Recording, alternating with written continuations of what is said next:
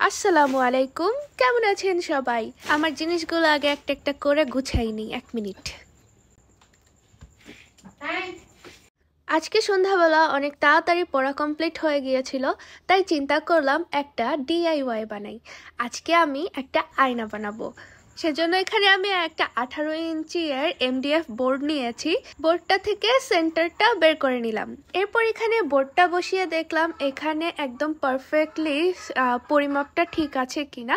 দেখলাম ঠিকই আছে। এরপর মেজাজটা যা খারাপ হইল, আমি যে আঠাগুলো আনছিলাম সবগুলো শুকাই গেছে। যেটা শুকাই গেছে, ওইটা আসলে জুতার আঠা ছিল, ওইটা একটু মজবুত ছিল মনে হয়। যাই হোক, ওইটা বাদ দিয়ে এরপরে যে আমার কাছে ফেবিকলের আঠা ছিল, ওইটা দিয়ে যে সার্কেলটা এঁকে রেখেছিলাম, ওই সার্কেলের পুরোটাতে ফেবিকল ফেভিকলের যে আইকাটা ছিল, ওই আইকাটা স্প্রেড করে দিব। প্রথমে ব্রাশ দেওয়া করতেছিলাম, এত ঢং করে কে, পরে হাত দিয়ে করে ফেলাইলাম। এরপরে মিরোটা ভালো করে বসিয়ে দিলাম, যাতে এটা আর না খুলে সারা জীবনের জন্য। এটা হচ্ছে ম্যাক্রেম এখন আমরা আয়নার বর্ডারটাতে পুরোটাতে গ্লু গান দিয়ে ম্যাক্রেমের এই সুতাটা লাগিয়ে নিব। এতে করে এখানে একটা হোয়াইট বর্ডারের সৃষ্টি হবে। দুনিয়াতে সব কিছুরই দাম বেড়ে গিয়েছে। আগে গ্লু স্টিক কিনতাম পাঁচ টাকা দিয়া, এখন এই গ্লু স্টিকের দাম বিশ টাকা। কি আর বলব কষ্টের কথা। তো গ্লু স্টিক দিয়ে আমি এখানে পুরো বর্ডারটা লাগিয়ে নিলাম।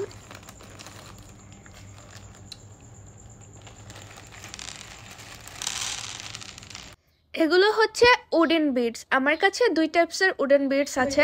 প্রথমে আমি মিনি উডেন বিডসগুলো নিয়ে এগুলো এখানে এভাবে গ্লু স্টিকের মাধ্যমে একটা একটা করে স্টিক করে দিব। এই উডেন বিডসগুলো তো আমার অনেক বেশি পছন্দের। এগুলো জামাতে লাগালেও অনেক বেশি সুন্দর লাগে। মুরগির যন্ত্রণায় ঠিকমতো কথাও বলতে পারি না। কানের কাছে কক কক করতেই থাকে। তো আমি একটা একটা করে পুরো বর্ডারটাতে এখন এই ছোট ছোট উডেন বিডসগুলো সবগুলো লাগিয়ে নিলাম। এরপর আম্মু অনেক দিন আগে কতগুলো পাটের রশি কিনে আনছিল। তো চিন্তা করলাম, এগুলোও কাজে লাগাই এগুলো বাসে পড়ে থাকবে কেন? প্রথমে এই পাটের রশিগুলোকে এভাবে বেনুনি করে নিলাম। এখন এই পাটের রশিটাকেও ঠিক এভাবে গ্লুগান স্টিক দিয়ে স্টিক করে দিতে হবে।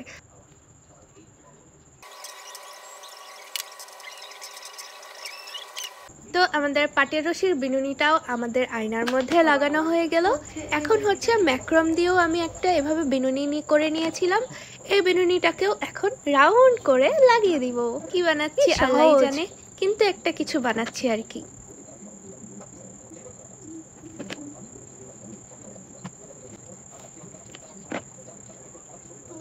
এরপরে আমি আবারও এখানে ওই যে বড় সাইজের যে উডেন বিটসগুলো কিনছিলাম, এগুলো প্রত্যেকটা তিন টাকা পিস করে নি স্যার তো এই পিসগুলোকেও একটা একটা করে লাগাবো। এগুলো এতগুলো লাগছে, আমার যে কষ্ট লাগতেছিল। তো আমার সাথে সিরাতাপাও চলে আসলো। এখন দুজনে মিলে পুরোটা কমপ্লিট করে ফেলি। উডেন বিটস অনেকগুলো লাগছে, প্রায় চারশো টাকার মতন উডেন বিটস লাগছে আমার এই জায়গায়। এরপর আমি এখানে ম্যাক্রামের সুতা দিয়ে আবারও বেনি করব, সেজন্য সুতাগুলোকে রেডি করে নিছিলাম। আমি চিকন সুতা আনছিলাম বলে ডবল করে নিছি। আর এখানে সিরাত কিছু সুতা এভাবে কেটে নিয়েছিল সাইড দিয়ে বর্ডার বানাবে বলে।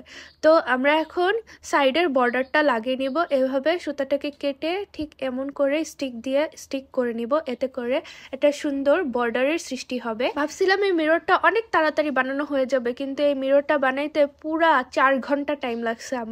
পুরো বর্ডারে এই সুতাগুলো এভাবে লাগানোর পরে এখন এই সুতারগুলোর প্যাচ খুলে দিব, যাতে করে এইটা আরেকটু ফ্লাপি লুক আসে। এই যে এখানে এভাবে করে সবগুলো বর্ডারের সুতা এভাবে খুলে দিছি, তারপর এটাকে চিরুনি দিয়ে আছড়ে নেওয়ার পরে এটার লুকটা ঠিক এরকম এসেছে। সুন্দর লাগতেছে না কাশফুলের মতো? বর্ডারটা লাগানো হয়ে গেলে আমি যে ডবল করে বেনি পাকিয়েছিলাম, ওই বেনিটাও এখন এখানে লাগিয়ে দিব। তো আমাদের মিররের কাজ তো প্রায় শেষ হয়ে এসেছে। এখন যে এবড়ো থেবড়ো সুতাগুলো ছিল, যেগুলো সমান ছিল না, ওগুলোকে সাইজ করে কেটে নিব। আমাদের কেচির ধারও কমে গেছে, কেচিটাকে ধার করে আনতে হবে।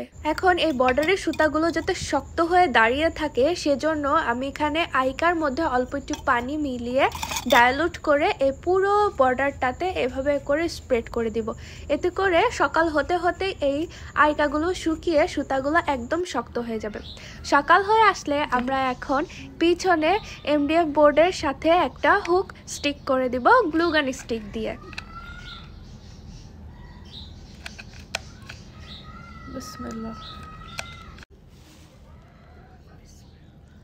এই দাগটা বরাবর।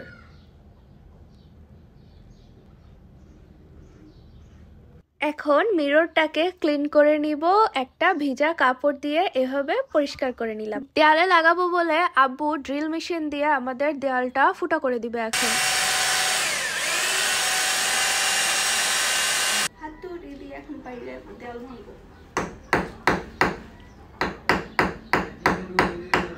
হয়েছে